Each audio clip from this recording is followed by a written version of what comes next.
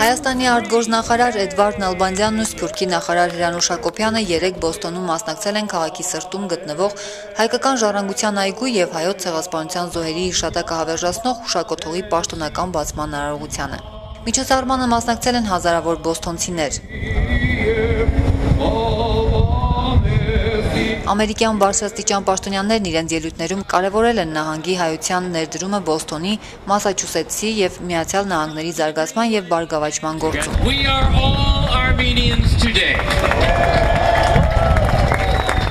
Նրանք անդրադարձել են հայոց ցեղասպանության ոգեկոչման, ճանաչման եւ դատապարտման կարեւորությանը, ողջունելով ցեղասպանության հուշարձանի բացումը Բոստոնի կենտրոնում։ Հայաստանի արտգործնախարարը շնորհակալություն է հայտնել Մասաչուսեթսի նահանգային եւ Բոստոնի քաղաքային իշխանություններին հայկական համայնքի նախաձեռնությանը սատարելու եւ իրականացման նորանդակելու համար։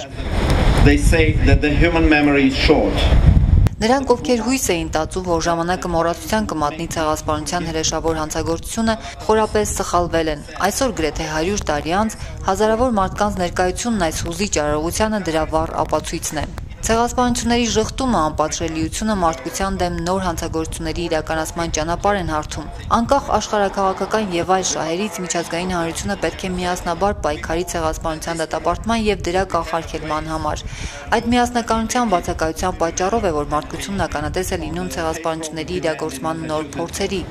Մեր միասնական ջանքերը սկսում են արդյունքներ տալ։ Շուրջ 1 դար Թուրքիայում փակի տակ գտնվող քննարկումը բացվում է։ Կցանկանայի հույս ունենալ, որ այս այգին կդառնա մի վայր, մի ուխտատեղի, որտեղ կգան ոչ միայն ցեղասպանության զոհերի ժառանգները, այլ նաև այդ հանցագործությունն իրագործողների ժառանգները եւ միասին ծաղիկներ կդնեն անմեղ զոհերի հիշատակին։